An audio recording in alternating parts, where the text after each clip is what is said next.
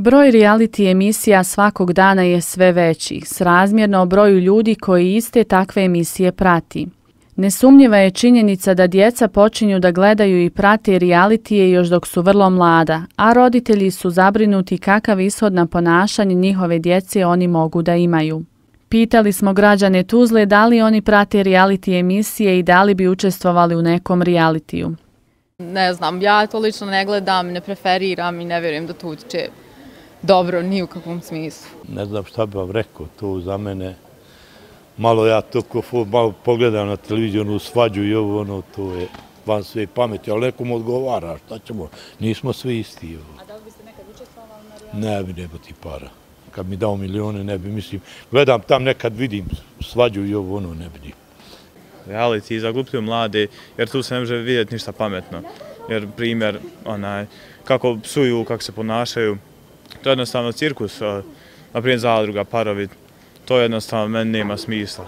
Pa čuo sam pričaju ljudi po ulici, dosta ljudi prati i ja se trudim da izbjegavam te ljude jer ako gledaju takve reality jednostavno nije za mene. Pa dobre su to pare, ali ja ne bih jer to jednostavno nemoralni ljudi učestvuju u takvim realitijima. Da li pratite realitije? Ne. A, a što mislite kako utiču na mlade? Utiču loše, ovo je reality život. Znači, ono što je reality je baš bez veze. Znači, djeca gube vrijeme, uništavamo omladinu. Eto, to je to. A da li biste učestvovali? Ne, nikad, ni, ni pod koju cijenu. Nema tog novca.